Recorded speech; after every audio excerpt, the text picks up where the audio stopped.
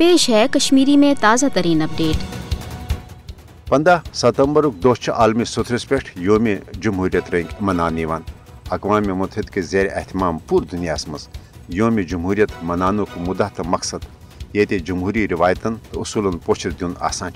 تتہ عالمی یوم جمہوریت منان مقصد پور دنیا کن لکن ہند جمہوری حقوقن تحفظ تہ فراہم کرن آسان۔ بھارت بظاہر دنیا ساروی کھت بوڑ جمہوری ملک آسن دعوے دار مگر حقیقت تو پذر یہ زی بھارتن بزور فوجی طاقت قشرن ہند بنیادی تو جمہوری حقوق غصب کرمت مودی حکومتن یہ پانچ اگست کہ غیر جمہوری اقدام ذریعہ مقبوض جوم تو ہز خصوصی آئینی حیثیت ختم کرت عملن مقبوض جوم تو مز بھارتی فوجی راج نفذ کور۔ تتہ مودی حکومت مقبوض جوم تو مز مسلمانن ہز غالب اکثریت اقلیتس مز تبدیل کرنے باپت سامراجی تو غیر جمہوری اقدام کران بھارت مقبوض جوم تو ہز متنازع تو حل طلب حیثیت تبدیل کرنا ستر ہندس بین الاقوامی حق خود ارادت کس اصولس تحت رائے شماری ہندس فیصلس پہ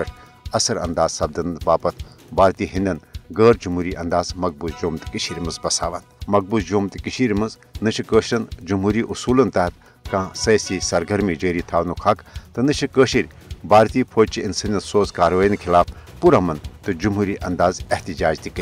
تاز بھارتی قابض فوجس افسپا کن قشرن ہز نسل کشی باپت کھل ڈیل دن آم بھارتی نام نہاد جمہوریت اول ونگن درو نریندر مودی سند دور اقتدارس مز نون پور دنیا زانان زِ Narendra Modi R S S کس ہندوتوا ایجنڈس تحت بھارتس اخ کٹر ہندو دیش بنانے باپت سیکولر تو جمہوری قدرن پامال کران۔ مودی حکومت سرپرستی مز بھارتس مز ہندو انتہا پسندی پوچھر دنک یچ اقدام کرنے